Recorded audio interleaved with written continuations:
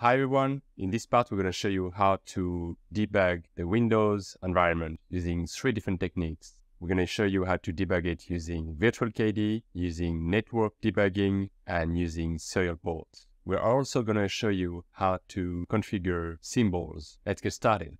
The first thing I want to say on this Windows kernel debugger is that some people name it WinDBG, some other people name it WinDebug, and some other people name it WinBag like WinBag. Uh, so it's basically the only real debugger to debug the Windows kernel. There are two alternatives. The first one is IDA Pro, which has a, a, good interface to debug the Windows kernel apparently, but we're not going to use that technique because we're going to basically use uh, WinBag uh, synchronized with uh, disassembler with a plugin, as we'll see later. Um, and the other technique is to use uh, HyperDBG, which is like the new promising replacement. But for this presentation, we're going to focus on WinBag. So there has been a few versions of WinDBG. Uh, the first one was WinDBG, the classical WinDBG, and now you have WinDBG Preview. So really, what you want is oh, is mostly to use WinDBG Preview in general because it supports JavaScript scripting, which allows you to uh, write scripts uh, a lot easier than using the old WinDBG commands. Also supports Windows layout, which is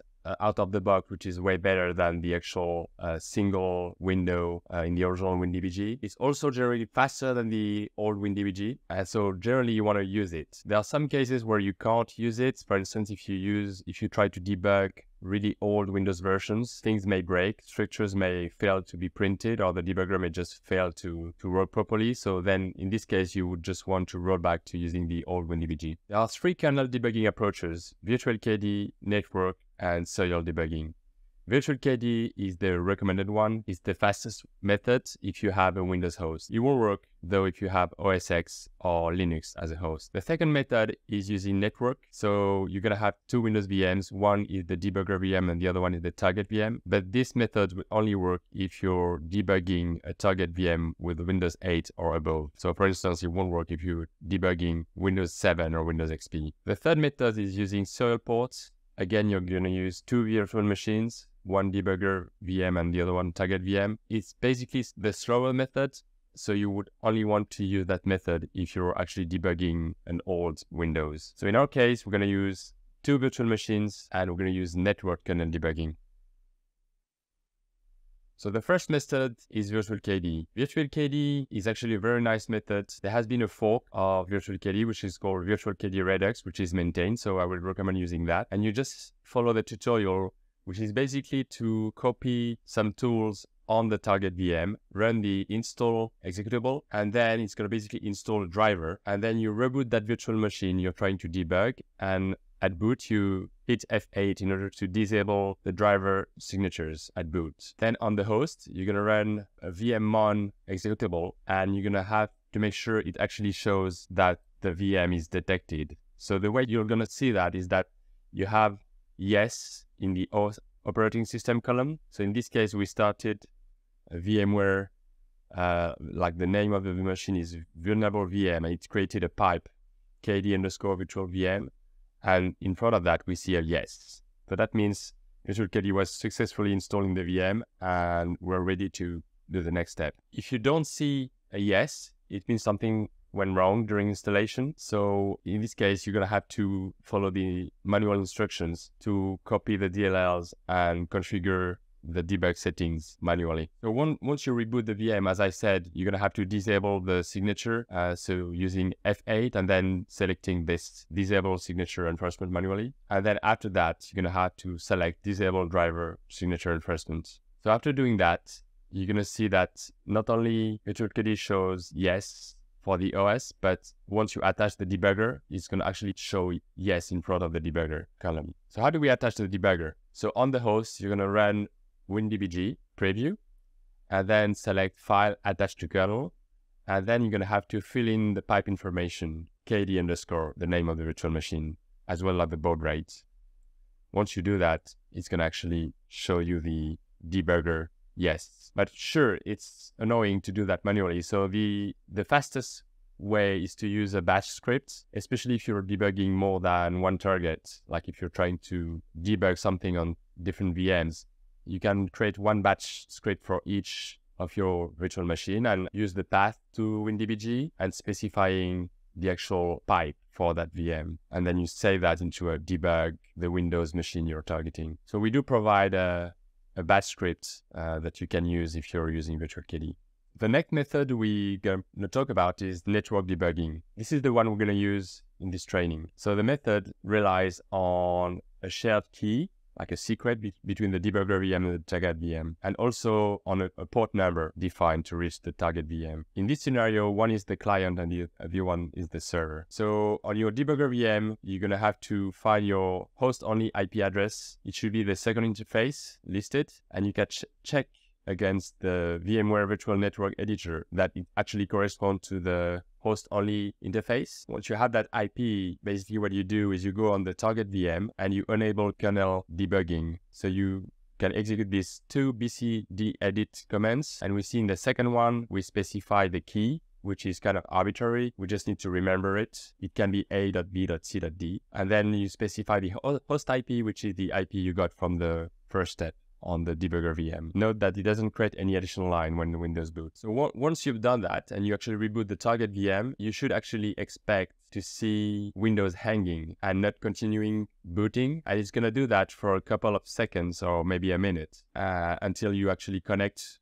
with WinDBG. However, if you don't connect right away, it will actually continue booting, but with the kernel debugger attached, so you can still attach later after the target VM has booted. But the fact that it hangs is a good method to make sure kernel debugging was configured correctly on the target VM. Once the target VM is waiting for you to attach, you can again use WinDBG, attach to kernel, and then you specify the port number as well as the key. And you don't need to specify a target VM IP address. It could be that when you attach with WinDBG, it's going to show you something like that.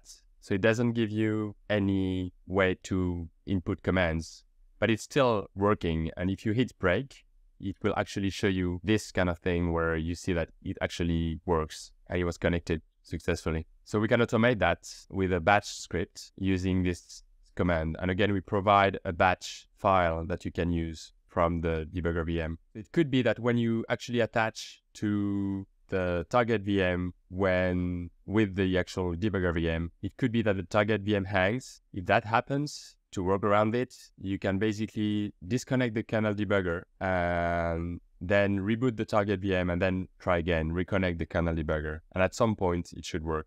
So the third method is to use serial debugging. In this case, we're going to use a shared name pipe between both the debugger VM and the target VM. So again, one is the client and the other one is the server. So in order to do so, we have to shut down both virtual machines and configure a serial port to both settings. We use a similar approach for Linux and Windows. The difference is just the name of the pipe that is OS specific. So for Windows, we can see we use a anti slash anti slash dot syntax and then the name of the of the pipe. Again, we use the same pipe for both of them, and one of them is the client and the other one is the server. And for Linux, we can use a, a named socket on the file system. Again, one is the server and the other one is a client. So then we boot the target VM and we configure kernel debugging using the serial method and the baud rate. Here, the debug port is one if you only have one serial port, but it could be that you have several serial ports and then you have to adapt the debug port number. Again, it's not going to show any additional line when Windows boots. So when it boots, it should hang again on the Windows boot screen until you actually connect with the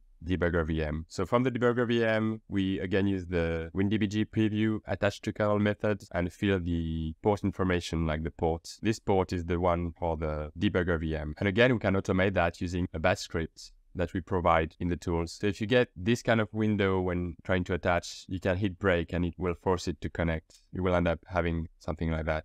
So the last thing we want to do is want to enable symbols. Indeed, if you were debugging Windows binaries, by default, you won't have any idea of, of, the structures of the actual functions being called. Enabling symbols is very important. You can do so manually in WinDBG using the sympath command. It's not going to be persistent, but it's going to work right away. And you're going to be able to see the changes and the symbols after using the reload command really the best method is to actually define an environment variable because then you don't need to do it every time you start WinDBG and it will be persistent among, among reboots. It has already been done by the installer script, so you don't have to do it yourself. We can see that we booted our target VM as well as our debugger VM already. So here we're going to want to debug the target VM from the actual debugger VM where we run WinDBG.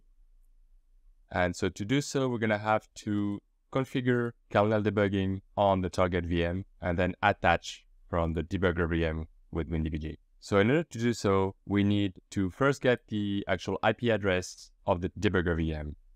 So if we do ipconfig on the debugger VM, we're going to see two interfaces. These interfaces correspond to the two interfaces of the VM we can find with Control D. So with Control D, we see the first one is the NAT interface, the second one is the host only interface. And so we are interested by the second one because that's the network shared with the target VM. So the second one is 92.132. We can confirm that it corresponds to the host interface by going into Edit, Virtual Network Editor. I will show you that the host only is in the range 92.0 which corresponds to the second one. Okay, so now that we have the IP address, we're going to go into the actual target VM and we're going to start an administrator CMD. And from that, we're going to use the bcd edit debug on command. And then we're going to use the bcd edit dbg settings. So here we're going to use the port and key provided. However, we need to check the IP address to be the one for the debugger VM. Now it should be done. We can reboot the target VM. So here, as you can see, it's actually hanging on the blue window. There is nothing happening. You can see here, it's actually hanging. So if we are really fast, we can attach with the actual debugger VM. Going into tools, and here you'll find the debugger VM network. If you look at that, you'll see that it actually uses WinDBG and the network method. So the target VM is hanging. From the debugger VM, we're going to connect over the network.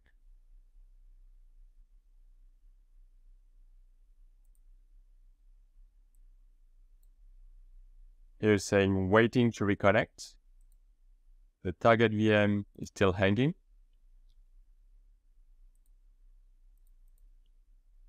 So if we hit break, it may wake up the target VM. So we see it's not working. Actually, now it's working. It's just a little bit slow.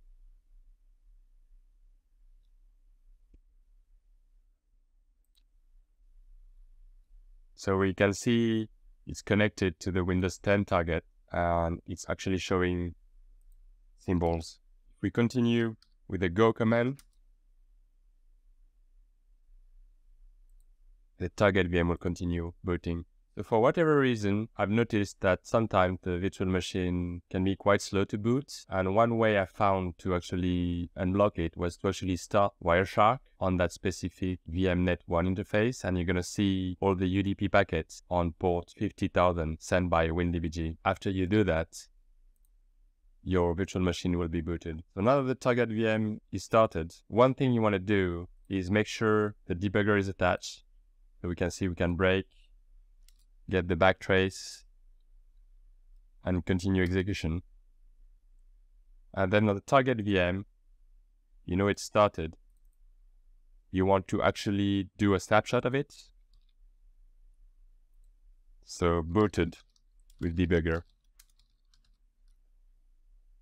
And the reason for that is here you can see the green arrow because it's actually a snapshot when it's booted. And the reason is we can actually do lots of things on it. We can even detach the debugger. And then here, the virtual machine, we can restore the snapshot. So using that orange arrow, we can restore the snapshot to booted with debugger. Say yes.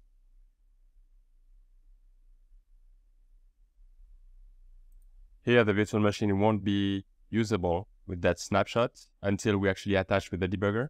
But the main advantage is that we can mess up with the virtual machine and then we don't have to reboot it entirely. we can just reattach. So actually here I can reuse the, the virtual machine even if the debugger is not attached, and then I can attach the debugger. We see it's connected, but it's actually not showing more than that. So what we can do is hit break. And now we're back to debugging. So the thing we can do in WinDBG is just show like kernel function, see the actual see modules that are being loaded. So here we can see only NTOS kernel, which is named NT, is actually shown. So to reload all the symbols, we can do reload slash F. And it's going to actually download all the symbols into the folder that has been defined, which is in C symbols.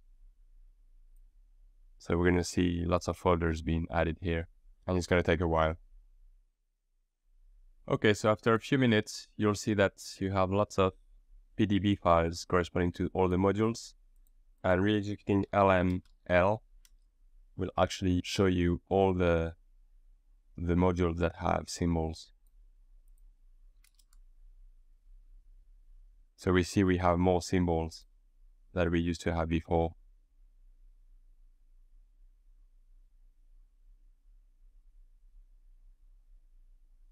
Here. Before and after. Okay, that ends the WinDBG video. Thank you for watching.